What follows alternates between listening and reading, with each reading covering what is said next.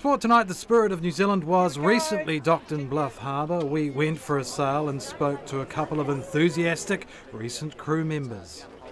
I'd heard through school some of my friends had done it, and like older people from older friends, and um, yeah, they sounded like they'd had such an amazing time, and so I wanted to give it a go as well. So yeah. Are you from a nautical background? Had you been sailing before? No, no, sailing's new to me. I'm more sort of land-based sports. I've never done any. I do water skiing, but that's about it. No, nothing to do with sailing. Because we're all thrown into the same situation where we didn't know anybody, um, it was quite awkward at the start. And then after a while, you realise that you know you can make friends, of course, and today, oh, I just watching everyone leave at seven o'clock, I was crying. I was so sad to see them go. It's to think like 10 days ago they were strangers and now we're best friends, and yeah, hopefully they'll last for a long time. Yeah, so you'd say you've made friends for life yeah, on, the, we on this we made lifetime friends, yeah. Let's talk about the accommodation downstairs and that sort of thing. It does look pretty rough, doesn't it, downstairs? Did, did, did you find it comfortable? Was it everything you needed? Um, after a hard day sailing, yeah, they felt like double beds really.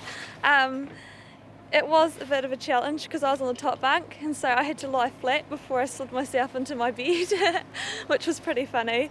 But yeah, no, they're comfortable enough. So yeah, their pillow, your sleeping bag and your rug. Food and that sort of thing. Uh, is it high quality cuisine? Did you go fishing? No, we didn't go fishing, but yeah, no, the food was definitely great. Frida does such an amazing job. So yeah, we got really nice meals, really yummy things. And what would you say to someone else like yourself? Uh, would you encourage them to, to get out there and do this? Yeah, definitely, definitely. Um, yeah, I enjoyed it so much. I absolutely loved it. I love this sort of thing, you know, meeting new people, challenging myself and stuff like that. So yeah, anyone who's willing to give anything a go, they should definitely do it. Yeah. Sounds like 10 days wasn't enough. No, definitely not. I was asking for more. I was wishing I could stay on for two or more weeks. So yeah, so much fun.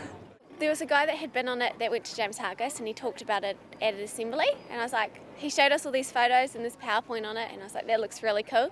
So just went along and talked to one of the teachers about it and he gave me all the information and from there it's just easy. Just applied and that was it.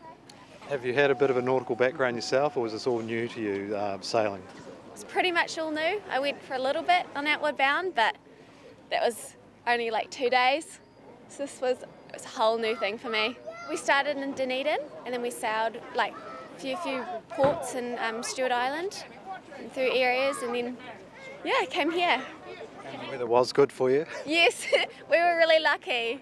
It was very few days when it was just freezing and cold, but What sort of skills do you think you picked up? I mean, having not really sailed yourself, was it was it surprising? It was definitely challenging being on the boat with uh, like 39, uh, 38 other people, it was, yeah, it was good to learn like tolerance and stuff, especially because there's nowhere to go on a boat.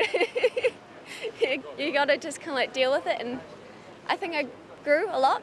This was students from all over New Zealand, isn't it? Yeah, yeah, all over the country. We had a lot of Aucklanders. All different backgrounds. yes, everyone, all, all different, all different ages. From like, I think we had a 15 year old to an 18 year old, 18, 19. So you all get on the boat, and so instantly you've really, got, you, as you said, you can't just say stop the boat, I want off, can you? You've all got to work together. Yeah, it's all about teamwork.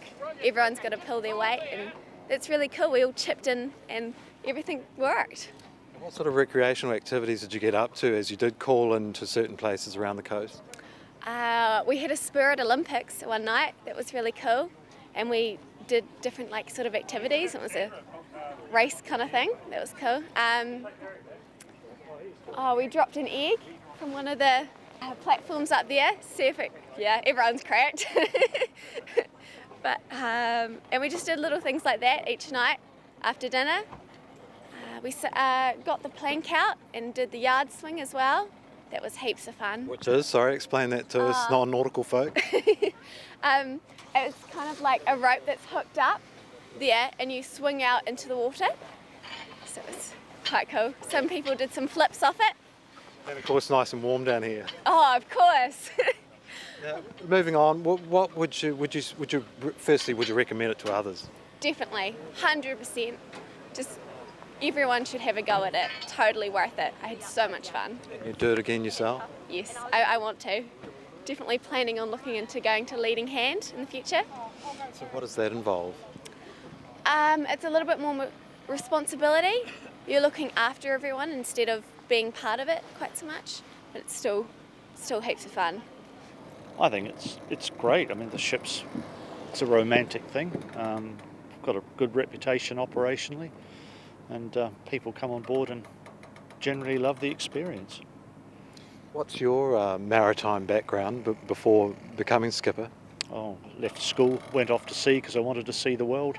Short-term job before I got a real one, and I'm still playing with boats now. So it's a team building exercise, isn't it? This is all about team building uh, with young people. Yeah, it's opportunity, problem solving, taking challenges, learning their own strengths, um, working with new people.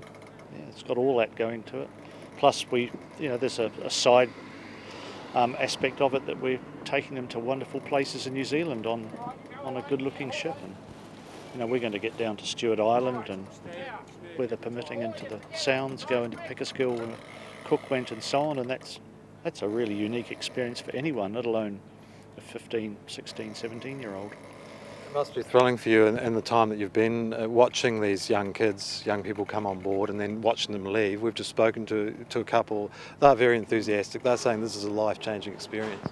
Yeah, well, that's a, it's a sort of a, a, regular thing that says, but I think in a lot of cases it's not just a glib comment. It is true. They, they, they learn a lot from the whole experience. It's total range here. Yeah, we get them literally from um, the poorer backgrounds to the ones that. But I don't do cleaning because the maid does that.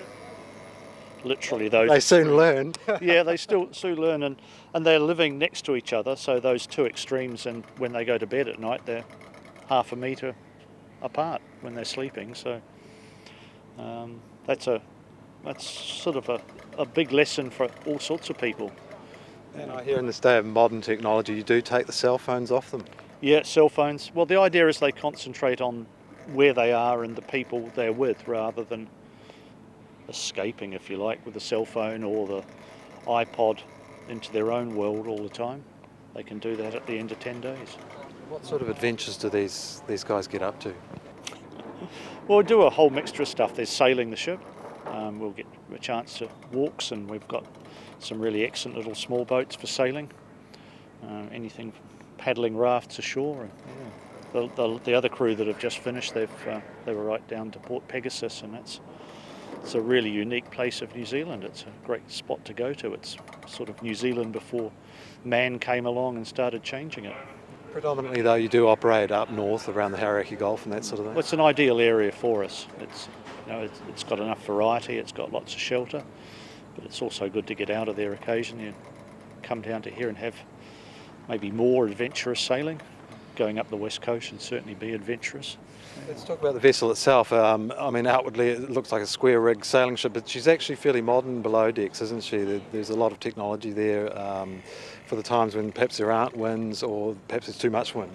The ship was um, really well built in the first place, so she's in really good condition, and the size and the layout of it worked generally well for what we, we could see into the future. So then it was fixing the systems on it or updating the systems on it. So after 40 years, and you've, you've been involved um, for a while of that period, how have things changed and where do you see it and do you see it carrying on for another 40 years? Is there a oh, place for so, spirit of adventure? I think that, that sort of learning experience is sort of isn't set by an age. You know, we have different gadgetry we take with us and, and different uh, expectations maybe, but basically the people are the, are the same. They still get the same thrills out of it. You know, 40 years ago they enjoyed sailing on the ship or going for a walk or seeing somewhere new, and they still do that. Most people are just like that.